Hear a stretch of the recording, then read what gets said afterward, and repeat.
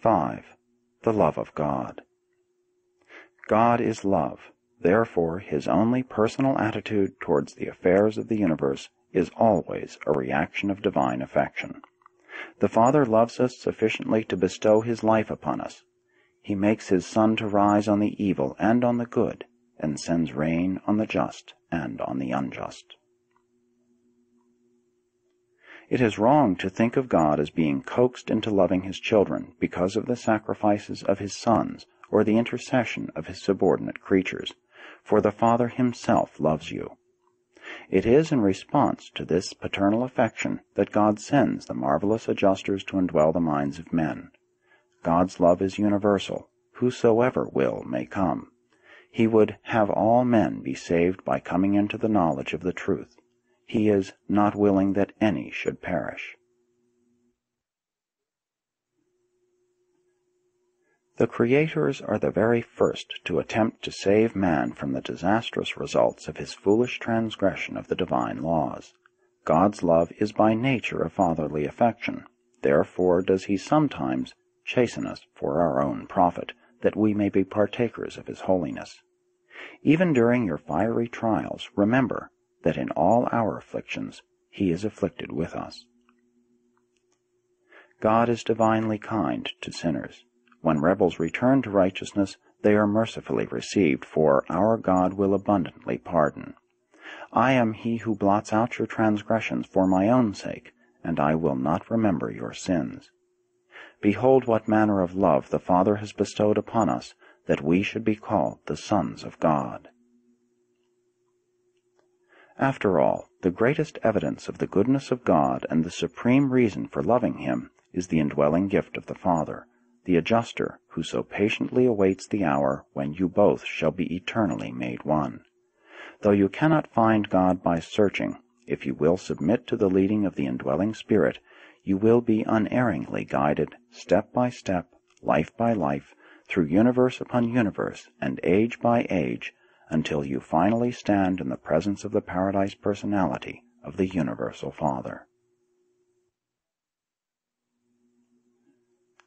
How unreasonable that you should not worship God because the limitations of human nature and the handicaps of your material creation make it impossible for you to see Him. Between you and God there is a tremendous distance, physical space, to be traversed. There likewise exists a great gulf of spiritual differential which must be bridged. But notwithstanding all that physically and spiritually separates you from the paradise personal presence of God, stop and ponder the solemn fact that God lives within you. He has in his own way already bridged the gulf. He has sent of himself his Spirit to live in you and to toil with you as you pursue your eternal universe career. I find it easy and pleasant to worship one who is so great and at the same time so affectionately devoted to the uplifting ministry of his lowly creatures. I naturally love one who is so powerful in creation and in the control thereof, and yet who is so perfect in goodness and so faithful in the loving kindness which constantly overshadows us. I think I would love God just as much if he were not so great and powerful, as long as he is so good and merciful. We all love the Father more because of his nature than in recognition of his amazing attributes. When I observe the Creator's sons and their subordinate administrators struggling so valiantly with the manifold difficulties of time inherent in the evolution of the universes of space, I discover that I bear these lesser rulers of the universes a great and profound affection. After all, I think we all, including the mortals of the realms, love the Universal Father and all other beings, divine or human, because we discern that these personalities truly love us. The experience of loving is very much a direct response to the experience of being loved. Knowing that God loves me, I should continue to love him supremely even though he were divested of all his attributes of supremacy, ultimacy, and absoluteness. The Father's love follows us now and throughout the endless circle of the eternal ages. As you ponder the loving nature of God, there is only one reasonable and natural personality reaction thereto, You will increasingly love your Maker. You will yield to God an affection analogous to that given by a child to an earthly parent. For as a father, a real father, a true father loves his children, so the universal Father loves and forever seeks the welfare of his created sons and daughters. But the love of God is an intelligent and far-seeing parental affection. The divine love functions in unified association with divine wisdom and all other infinite characteristics of the perfect nature of the universal Father. God is love, but love is not God.